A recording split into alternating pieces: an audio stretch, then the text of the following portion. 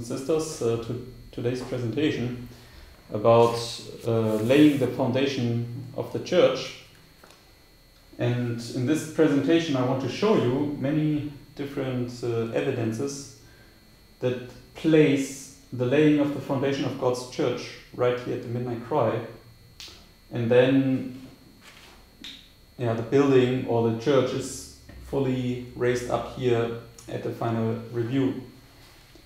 And it's an important topic, as we will see, to understand where to place this correctly on our line in order then to have a correct understanding um, what the Lord is about to do.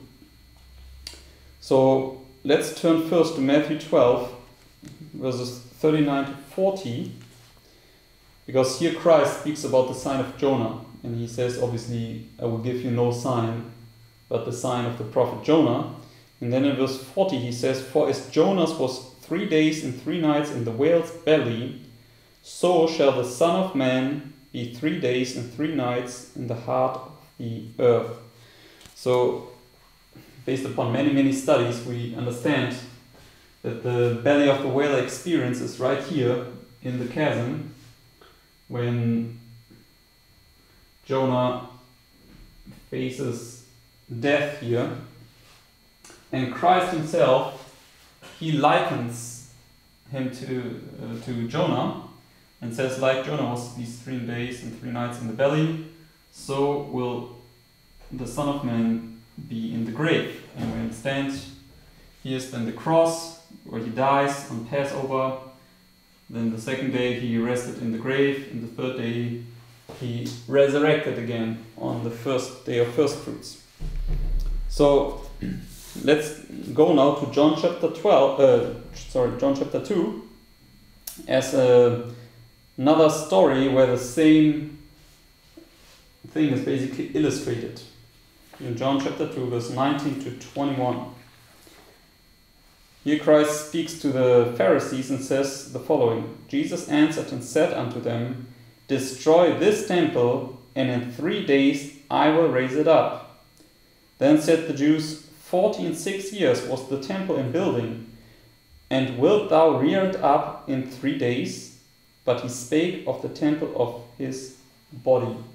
So he is referring to the exact same three days as in Matthew 12 when he spoke about the sign of the prophet Jonah and says, Destroy this temple which was his body, it says here in verse 21, on the cross when he died, and in three days he raised it up again. Okay, so here we see in nice illustration yeah, that these three days is the raising up of God's temple. Okay, and obviously it's it's a no-brainer. You always start with laying the foundation at the beginning. So when in these three days the temple is raised up and it's completed here at the third day, uh, the beginning must be here where the foundation is laid. So I already marked this down here and we will confirm this with many other scripture. Foundation laid. And here uh, temple completed.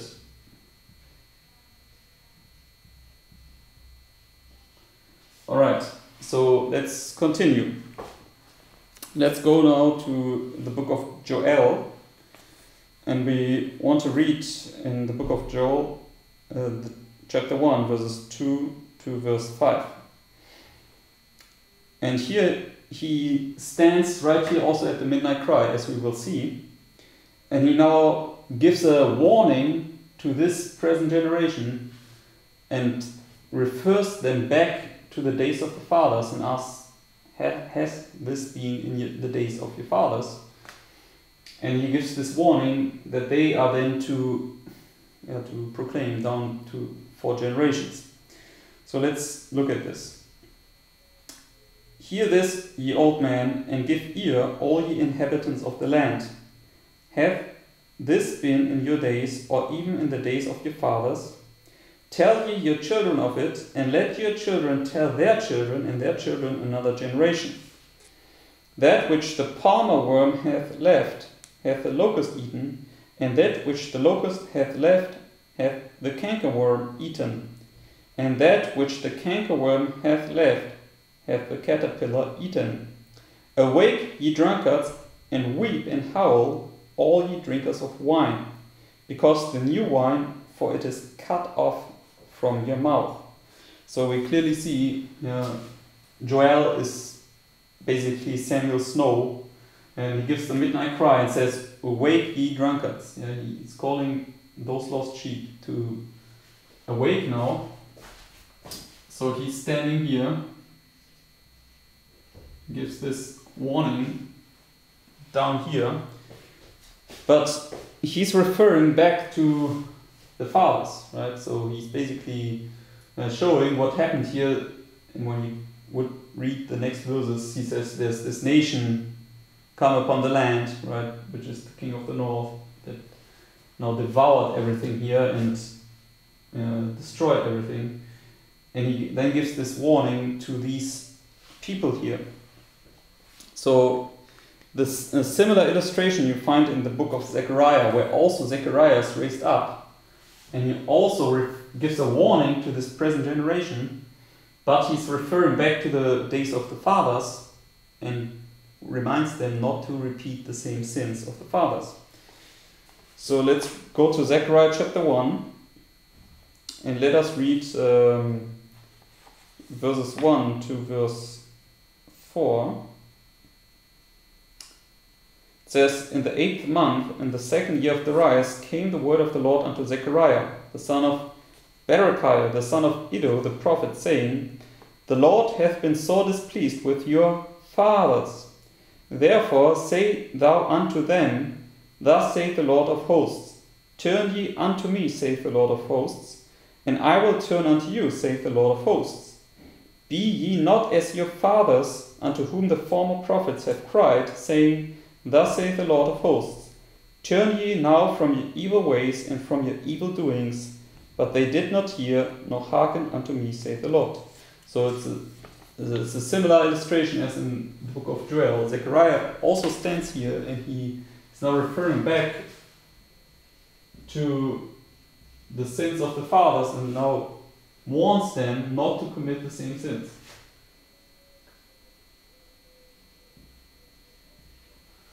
And when you turn now, jump over the next couple of verses and come down to verse 8, says the following I saw by night, and behold, a man riding upon a red horse, and he stood among the myrtle trees that were in the bottom, and behind him there were red horses speckled in white. Then said I, O my Lord, what are these? And the angel that talked with me said unto me, I will show thee what these be. And the man that stood among the myrtle trees answered and said, These are they whom the Lord hath sent to walk to and fro through the earth. So, yeah, so here's now, he sees now this man standing under, under, um, under the myrtle trees, and he sees these four horses, and he wants to know what these horses mean and they are then those powers basically that ran to and fro uh, through the whole earth uh, as it is written here in verse 10 and then verse 11 and they answered the angel of the lord that stood among the myrtle trees and said we have walked to and fro through the earth. And behold all the earth sitteth still and is at rest then the angel of the lord answered and said O Lord of hosts, how long wilt thou not have mercy on Jerusalem and on these cities of Judah against which thou hast had indignation these three score and ten years? So, we understand uh, we have many how longs marked here the Sunday law, but uh, when, you, when you understand fractals, we know that this is the big fractal and the same um, symbols in a sense uh, you have here, you also find here. Yeah, so you have a how long here based on different um, prophetic illustrations. For instance, Daniel 8, he asks, How long shall God's people be trodden down by the daily and the papacy? But Zechariah puts the how long right here at the midnight cry. And he asks the question, How long?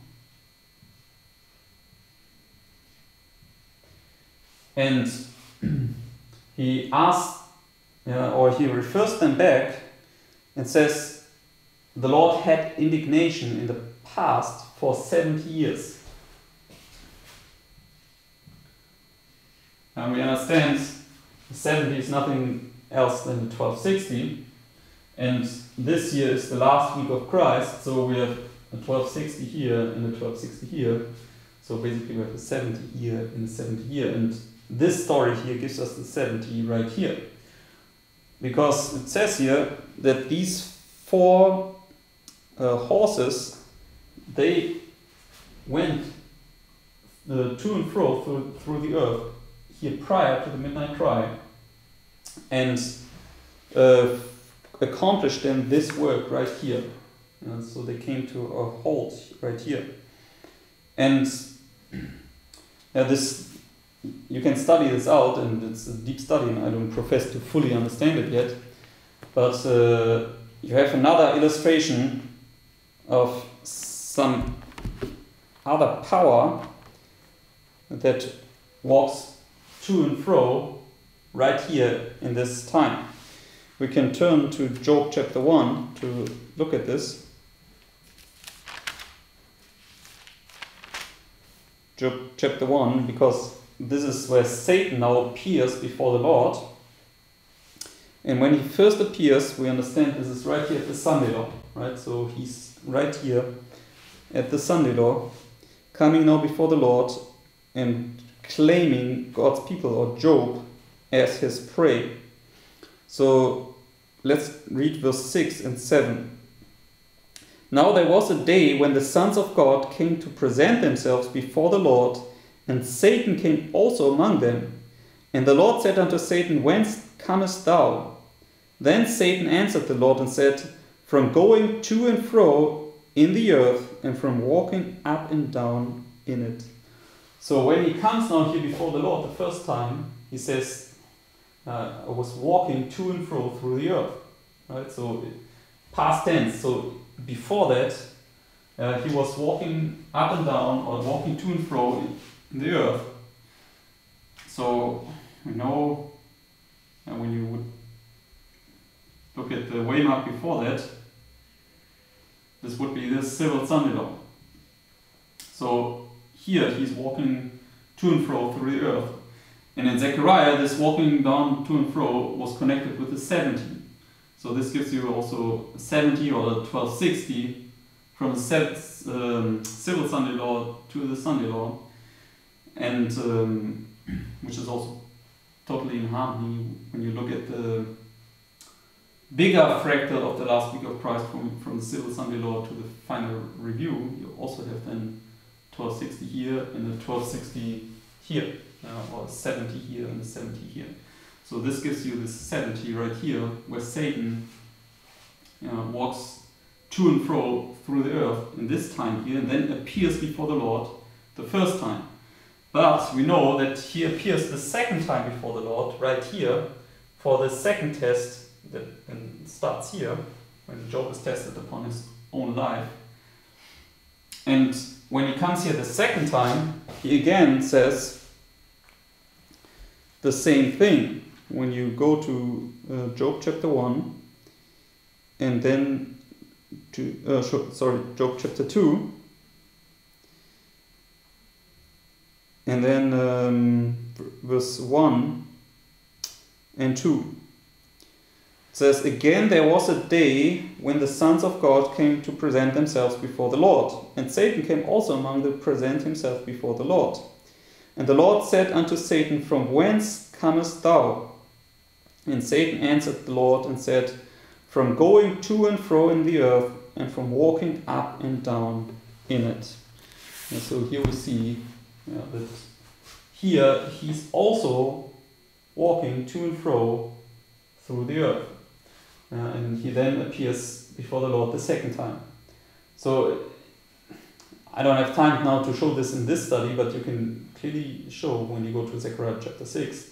as these, these chariots or these horses are these four winds uh, that get loosed and restrained. And this is Satan who is allowed to walk up and down through the whole earth when he's loose, but he's also always restrained because the Lord restrained Satan here, right? He said, Don't touch Job, only his belongings and his family you can touch. And here he also put a restraint upon Satan. And he was now allowed to touch Job's uh, life, but he was not allowed to kill him. So, but we can see that Satan uh, increased in power. So, because the the winds are more and more allowed to strike as we go down the history. Alright, so my point is when we come back to Zechariah chapter 1, is you can see right that the 70 years here in Zechariah 1 ends here at the midnight cry when those four horses um, we have this number four here right leading down to the midnight cry um, uh, come now to a rest, and they walked to and fro through the earth in this time period here, from the Sunday law to the midnight cry. And then in verse 13, the Lord answers to this question, How long? And the Lord answered the angel that talked with me with good words and comfortable words. So the angel that communed with me said unto me, Cry thou, saying, Thus saith the Lord of hosts. I am jealous for Jerusalem and for Zion with great jealousy. And I am very sore displeased with the heathen that are at ease. For I was but a little displeased, and they helped forward the affliction. Therefore, thus saith the Lord, I am returned to Jerusalem with mercies, my house shall be built in it. Thus saith the Lord of hosts, and a line shall be stretched forth upon Jerusalem. Now, so here, now the Lord says, my house shall be now built after these 70 years. And we understand the 70 years that is referring to here in Zechariah was the 70 years of Babylonian captivity. So, in one illustration, these 70 years end here at the midnight cry. You know, you also have the big fractal where it goes to the final review, but in this illustration, it ends here at the midnight cry, and the end of the 70 was the first decree by Cyrus. So, in the first decree by Cyrus, I write it down here, first decree, uh, was the decree to build God's house up again. Right? So, uh, therefore, here the foundation is laid under the first decree of Cyrus. Now he says, My house shall be built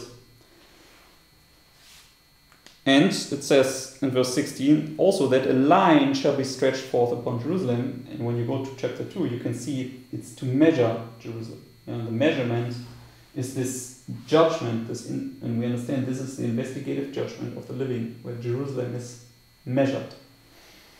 Okay, well, let's turn now to Isaiah 28, verse 16.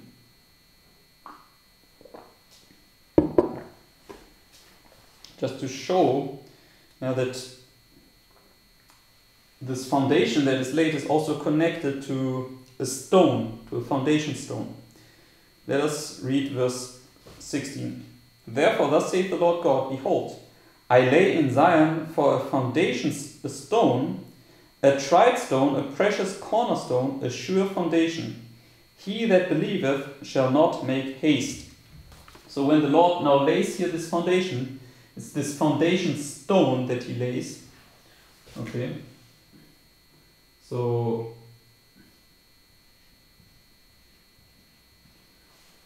And when you believe in this foundation that he lays right here at the midnight cry, you will not make haste. Yeah. So you, you will tarry, you will continue to tarry here all the way along until the end when he delivers you. So you can already see that something, this foundation has something to do with what the Lord is doing here right here at the midnight cry. And obviously, uh, what he's giving here at the, at the beginning, at the midnight cry, is this great exceeding light, right? This exceeding bright light.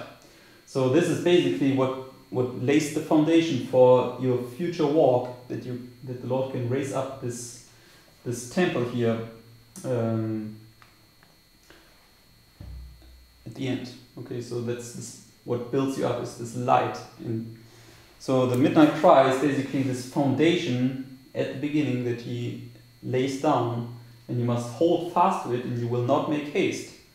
But we understand that they walk up here this narrow path and those that lose sight of the foundation of this light at the beginning of the path, they rashly deny the light behind them and fall down in the wicked world below. So they make haste, they rashly deny the light. Okay, so understanding that this foundation is also connected with this foundation stone, you can bring in this other story uh, that is the story by or, or of Jacob in Genesis 28, where you can see that uh, he also here at the midnight cry lays the foundation of God's house. Let's read verse 10 and 11. And Jacob went out from Beersheba and went toward Haran. And he lighted upon a certain place and tarried there all night, because the sun was set. And he took off the stones of that place and put them for his pillows and lay down on that place to sleep.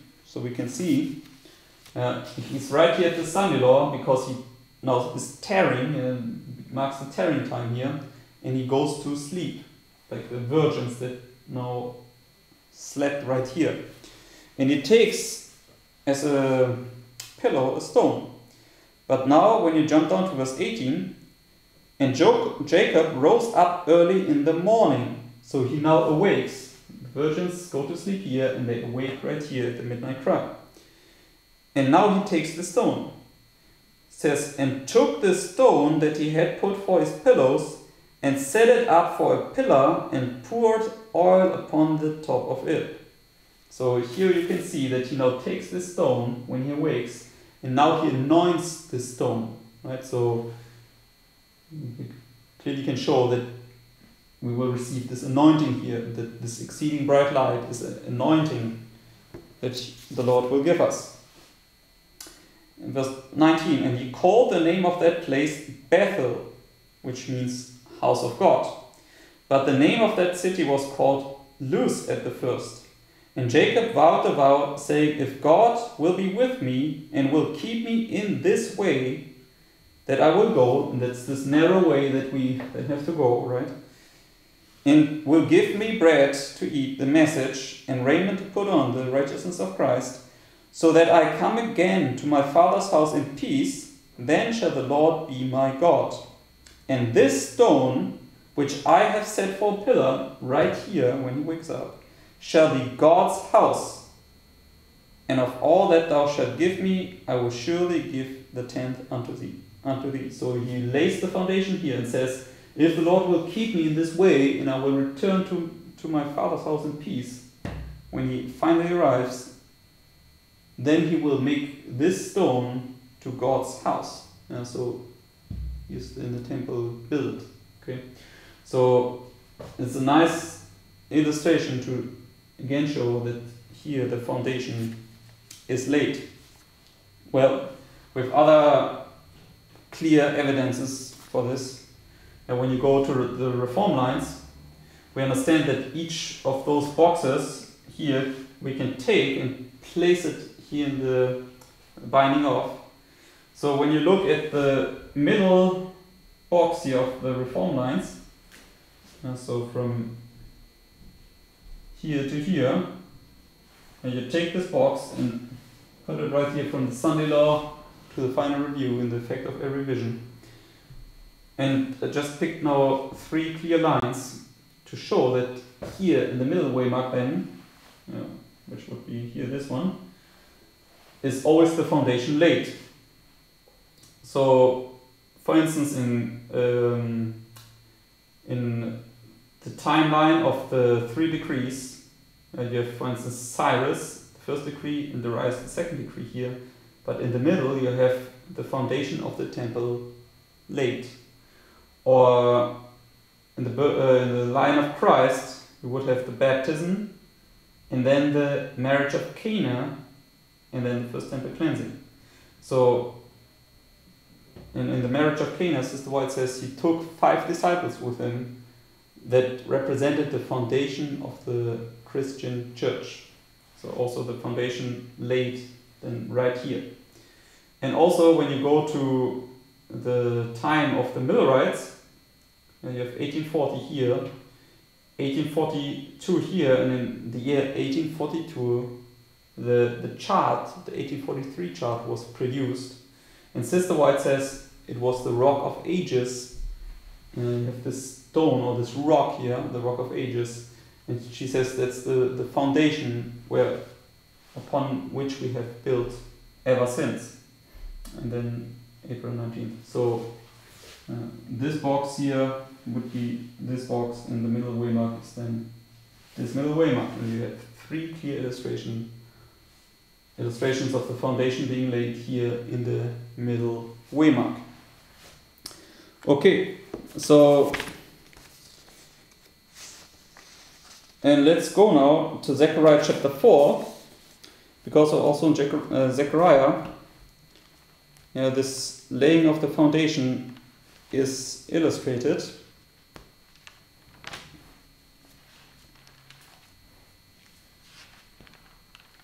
Let's go to Zechariah chapter 4, verse 1, and let's read down to verse 3. And the angel that talked with me came again and waked me as a man that is wakened out of his sleep. So here you also see Zechariah being woken up here. Basically, you can show that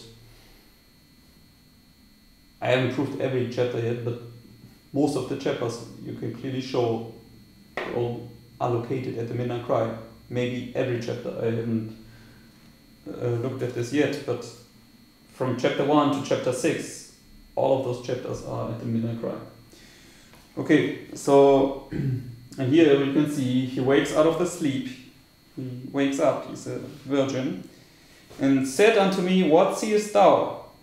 And I said, I have looked, and behold, a candlestick, all of gold, with a bowl upon the top of it, and seven lamps thereupon, there, thereon, sorry, and seven pipes to the seven lamps which are upon the top thereof.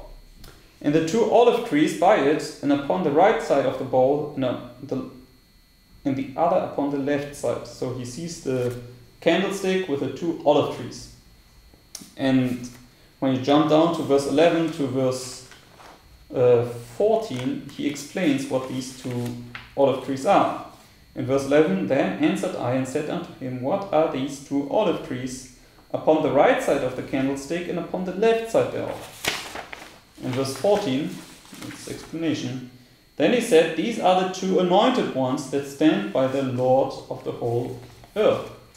So, and when you go to Revelation 11, it's the two witnesses, right? These two olive trees. So basically, he wakes up and he sees the two anointed ones, or the two witnesses, right here marked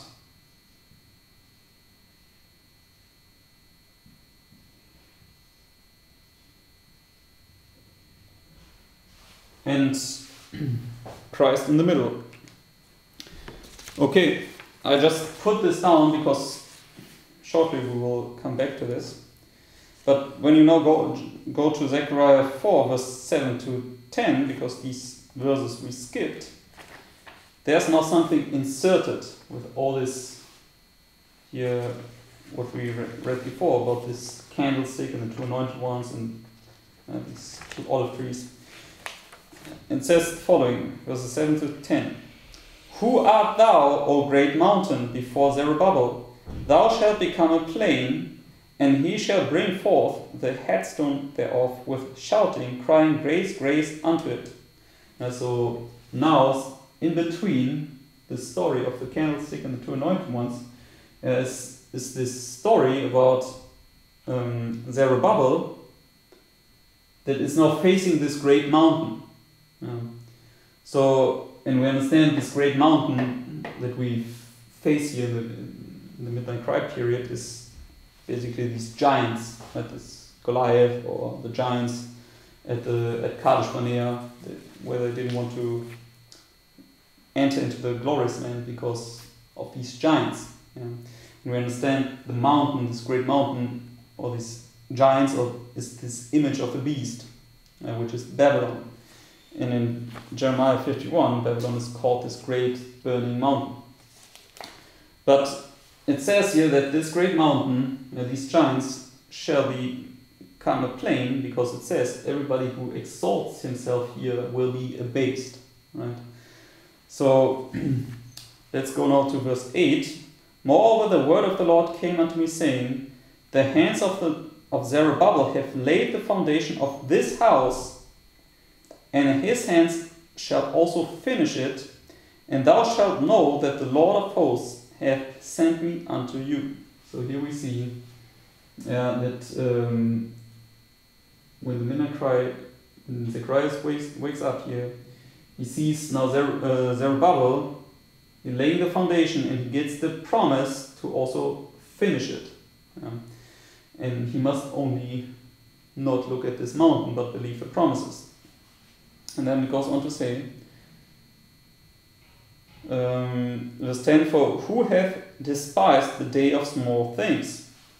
For they shall rejoice and shall see the plummet in the hand of Zerubbabel with those seven. They are the eyes of the Lord which run to and fro through the whole earth. So, uh, this is then this day of small um, things, uh, because at the beginning it's a very small, it's a little praying company, right? That begins this work here under the midnight cry. But yeah, we must not get discouraged because of this, but believe that this is the way how the Lord ordained it. It's the day of small things, the day of small beginnings. Uh, and He will perform a great work with His little praying company. And He will build the house. And uh, it says then here that um, there's this plummet in the hand of Zerubbabel with those seven. And these seven are the eyes of the Lord which run to and fro through the whole earth. Well, what is these seven? Let's go to Zechariah chapter 3, verse 9. And says, For behold, the stone that I have laid before Joshua, and one stone shall upon one stone shall be seven eyes. So here we have this seven eyes, which is also mentioned here in Zechariah 4, verse 10. And it's upon a stone, it's this foundation stone that is laid here, and it has upon it these seven eyes. And in Zechariah 4, verse 10, it says, Were the eyes of the Lord that run to and fro through the whole earth. And you can show, maybe we just quickly go there, uh, Revelation chapter 4, I think it is.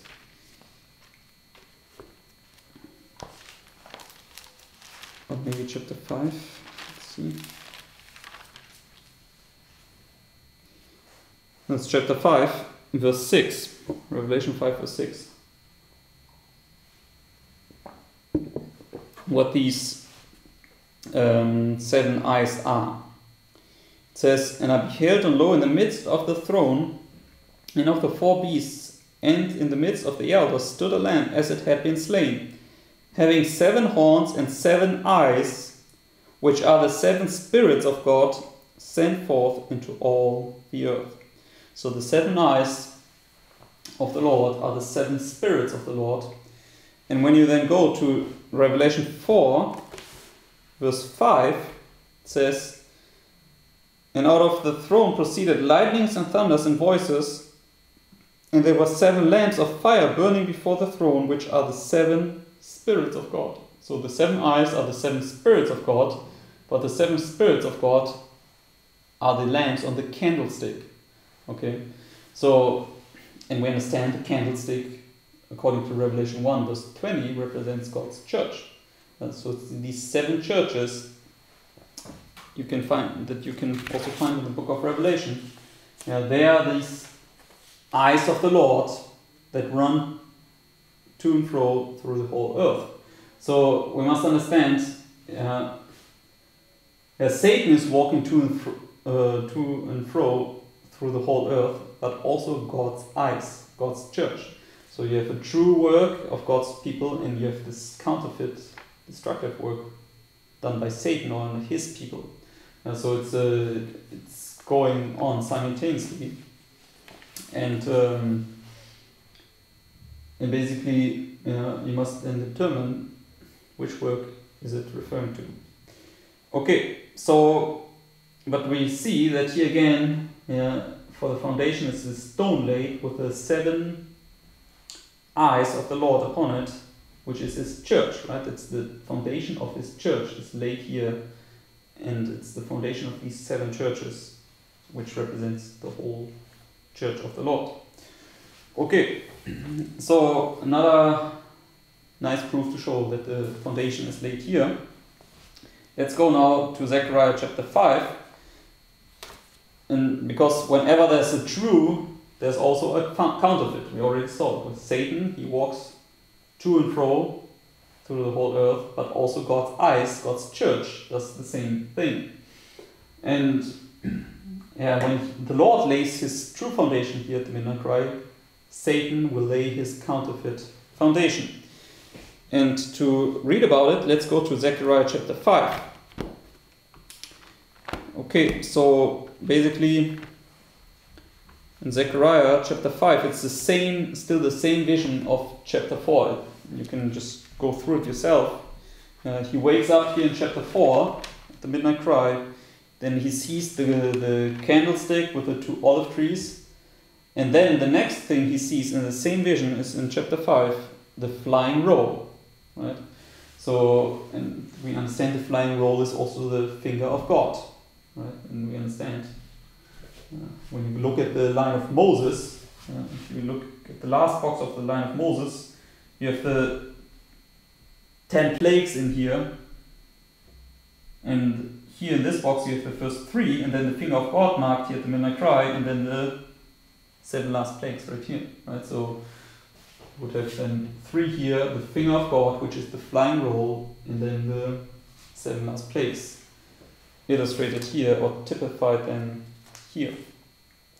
Okay, so, but then if you go down to Zechariah 5 verse 5, it's still the same vision. Uh, so he's still here at the midnight cry where he sees all these things. So let's see now what he is shown here beginning in verse 5. Then the angel that talked with me went forth and said unto me, Lift up now thine eyes and see what this sorry, what is this that goeth forth? And I said, What is it? And he said, This is an ephah that goeth forth. An ephah is this measuring pot, basically, that they used back then. He said, Moreover, this is their resemblance through all the earth. And behold, there was lifted up a talent of lead and this is a woman that sitteth in the midst of the ephah. So the ephah was covered with a lead, and in the ephah was sitting this woman. And he said, This is wickedness, because a woman, we understand, represents a church or a doctrine, right? So this is now this wicked satanic doctrine that is in the midst of the ephah, covered with a lead. And he cast it into the midst of the ephah, and he cast the weight of lead upon the mouth thereof.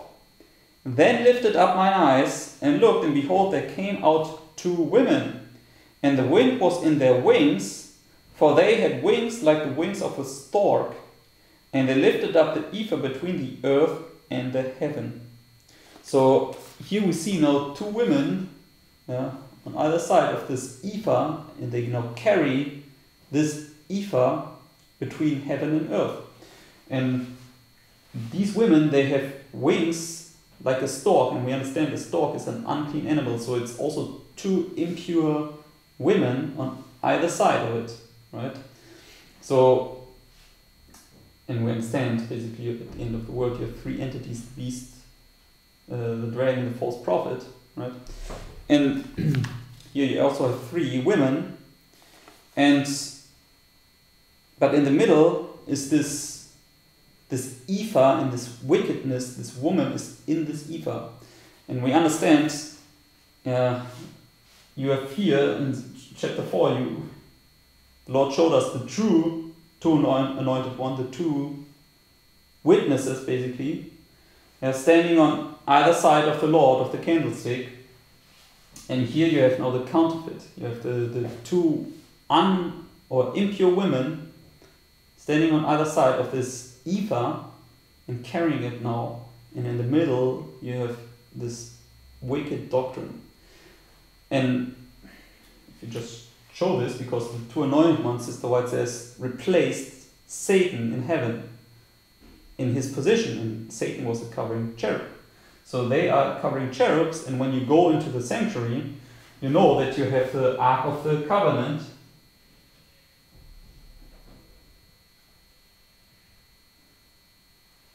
And on either side, you have these.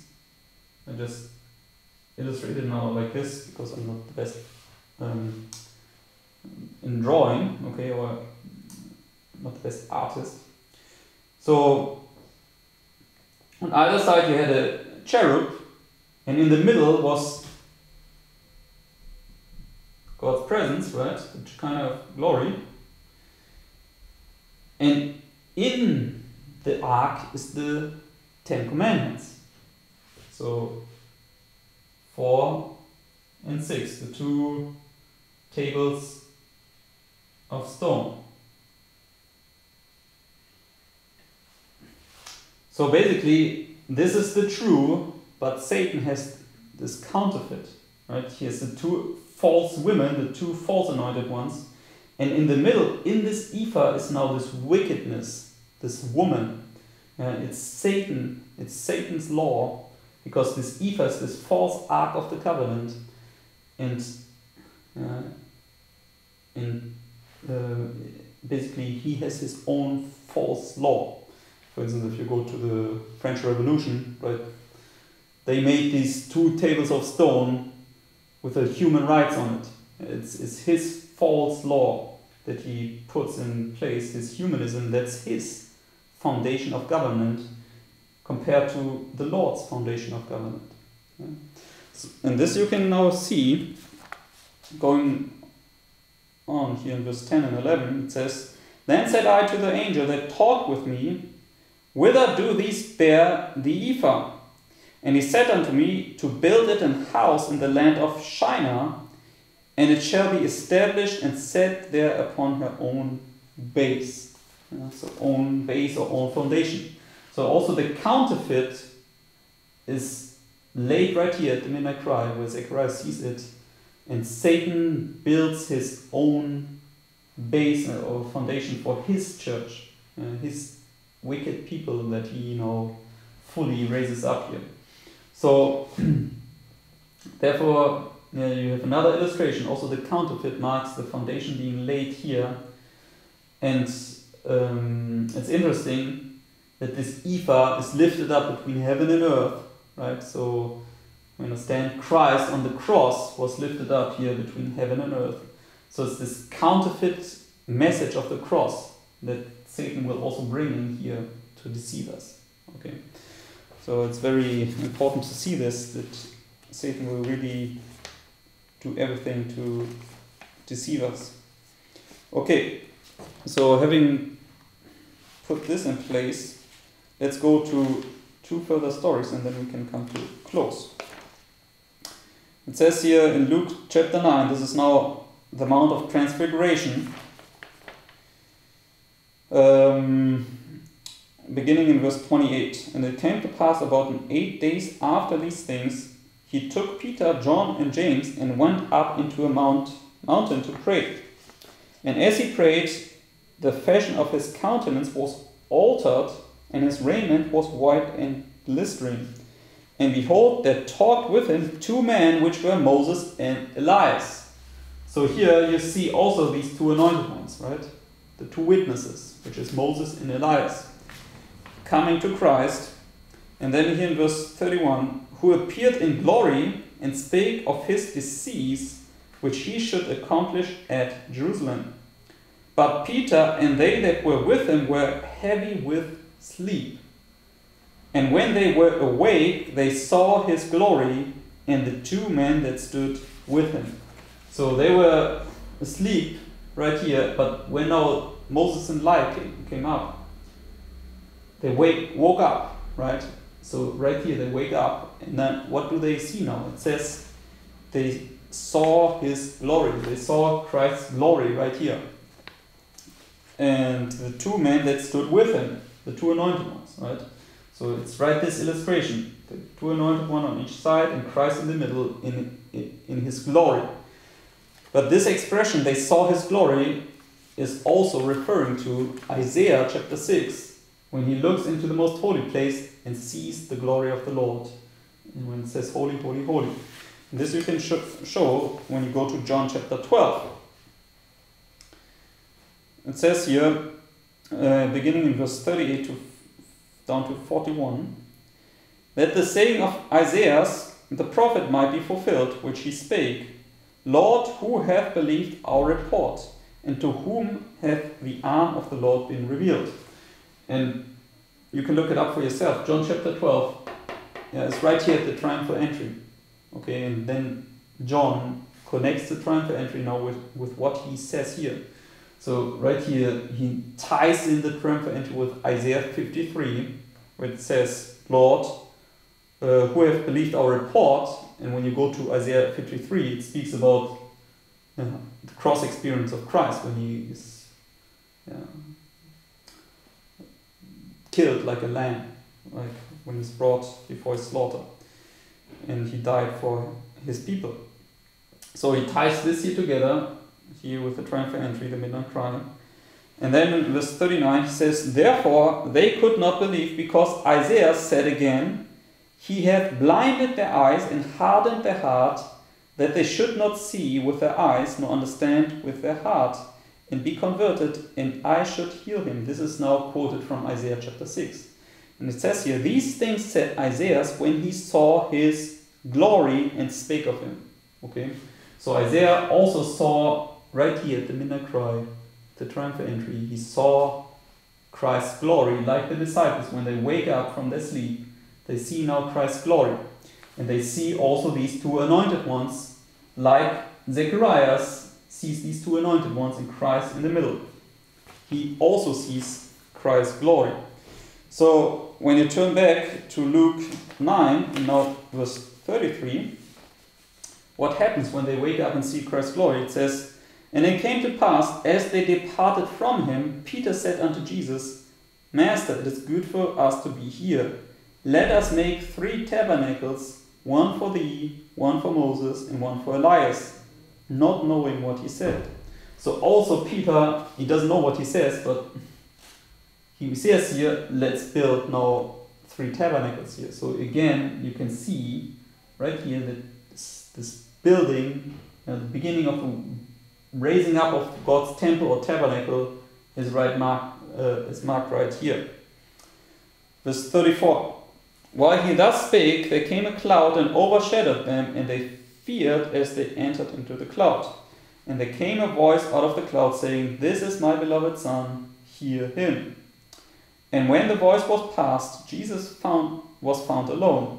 And they kept it close and told no man in those days any of those things which they had seen. So, yeah, they have the Mara vision here, but they don't tell anybody here because when you go to Matthew, the parallel chapter, Jesus is the one telling them not to say anything about this vision that they received here. Matthew 17, verse 9, it says, And as they came down from the mountain, Jesus charged them, saying, Tell the vision to no man until the Son of Man be risen again from the dead. So we can mark this also here.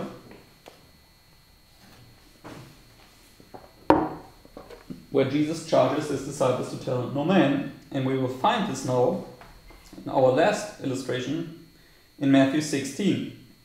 Let's go to Matthew 16, verses 13 to 20. So here it says the following. This is now where Peter confesses Christ. When Jesus came to the coasts of Caesarea Philippi, he asked his disciples, saying, Whom do men say that I, the Son of Man, am? And they said, Some say that thou art John the Baptist, some Elias, and others Jeremiah, and or one of the prophets. He saith unto them, But whom say ye that I am? And Simon Peter answered and said, Thou art the Christ, the Son of the living God. And Jesus answered and said unto him, Blessed art thou, Simon Bar-Jonah, for flesh and blood hath not revealed it unto thee, but my Father which is in heaven. And I say unto thee, Thou art Peter, and upon this rock I will build my church, and the gates of hell shall not prevail against it. So here you also can see, again, the same illustration that now the Lord says, Upon this rock, uh, upon this foundation, this foundation stone, I will build my church in these three days, right, until it's completed here. And it's in connection with the confession that um, Peter made, because it says, upon this rock, not referring to Peter, but to this confession that he made, that Christ is the Son of God. And then it's, it's interesting. Now we can see the uh, comparison to, uh, to the Mount of Transfiguration. And it says here, And I will give unto thee the keys of the kingdom of heaven, and whatsoever thou shalt bind on earth shall be bound in heaven, and whatsoever shalt loose on earth shall be loosed in heaven. Then charged he his disciples that they should tell no man that he was the Christ. So again, like on the mount, he says no, tell no man of it. Okay, he charges his disciples not to tell anybody. And therefore you can see right here, you know, this is where the Lord puts in the foundation where he will build his church. He says, Destroy this temple, and in three days I will raise it up again. And this confession of Christ is marked right here at the midnight cry. Because when you, based upon all these evidence I showed you already, but you can also go to 1 John chapter 4, verses 1 to 3, and there you can clearly also see that um, this is where the two classes will be manifested, whether depending on whether they confess Christ or whether they deny him the first epistle of John, you can show all at the midnight cry, where it speaks about uh, the children of the devil being manifested and the children of God being manifested. Cain killing Abel, for instance. And it says here now in verse 1 Beloved, believe not every spirit, but try the spirits whether they are of God, because many false prophets are gone out into the world. And we understand false prophets are marked here based upon Matthew 24 and false prophets are marked here based upon Matthew 24. But he speaks now in 1 John about these false prophets. And says here, Hereby know ye the Spirit of God. Every spirit that confesseth that Jesus Christ is come in the flesh is of God. So here you have a spirit that confesseth Christ come in the spirit, uh, uh sorry, in the flesh, and this spirit is of God. This is Peter confessing Christ. And Christ says, Upon this rock I will build my church in these three days. And then in uh, verse 3 And every spirit that confesseth not that Jesus Christ is come in the flesh is not of God. And this is the spirit of Antichrist, whereof ye have heard that it should come, and even now already it is in the world. Okay? So this is the demonstration of the two classes, the two spirits, the one that confess Christ here, that he's come in the flesh, that means Christ knew the hope of glory. You know, they, they confess this first birth here, right? And also this exceeding bright light. But then this other group, they reject their past experience here, they reject this first birth, and they reject, therefore, also this exceeding bright light. So right here, uh, you have this confession of Christ marked, and it's connected with this rock being laid, this foundation being laid, uh, in order to build up his church, which is completed right here. Okay, I hope that this was everything plain and clear to see, and that we then also can locate these things correctly on our line, know where to place these stories, and understand that the Lord is about to lay the foundation also in our time because we are standing shortly before our midnight cry here and are to experience this cross experience right here. So may the Lord give us the same spirit as Peter in confessing Christ here and, and giving by this the, the foundation through this confession for this church to be raised up here. Okay, let us uh, close in prayer.